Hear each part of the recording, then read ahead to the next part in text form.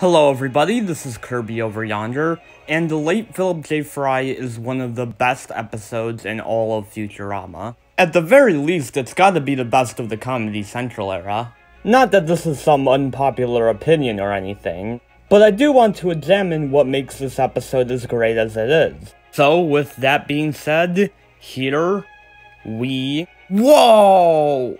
First things first, I love time travel stories. The idea of characters from the present being able to interact with the past or future is just incredibly fun to me. Hence why the Back to the Future movies are some of my favorites of all time. However, it's difficult writing a time travel story without creating some sort of weird plot hole or just something that doesn't add up. Even Endgame, for as much as it tries to lampshade this, has that problem too. But hey, the time travel in that movie is really fun, so nobody really cares that much. This is why time travel in general is kind of a guilty pleasure to me. It's an inherently fun concept, but doesn't make too much sense once you actually start thinking about it.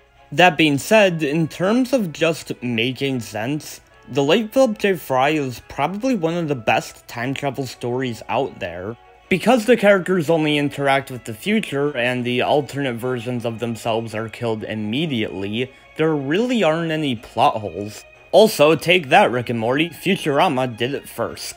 We get to see a bunch of creative and interesting future versions of Earth in this episode. I like how none of them look quite the same. I mean, there's literally a montage showing all the different future versions of Earth. It's weird, despite how big and grand this whole episode is, it never exactly feels that grand. I feel like Fry, Bender, and the Professor do a good job balancing out the tone of this one, making it so it doesn't feel too heavy or too depressing. It still feels very much like a Futurama episode. Like, we're literally watching the Earth blow up, and they're still having casual conversations.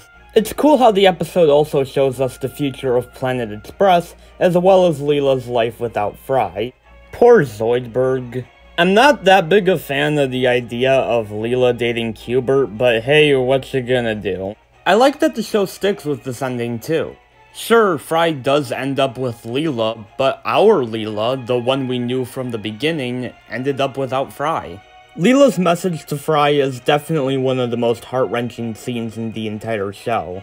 I find it interesting how, even though Leela did get over Fry, she never truly stopped caring about him. I wonder if she ever thinks about what her life would be like if Fry was still in it. In case you haven't been listening to me for the past few minutes, The Late Philip J. Fry is a masterpiece. It's an episode that manages to be fun and enjoyable, while also being very profound. It's an episode that leaves you smiling, but at the same time makes you think about life. It's an episode that's big and grand, but also not too much of a bummer. It's absolutely one of Futurama's best.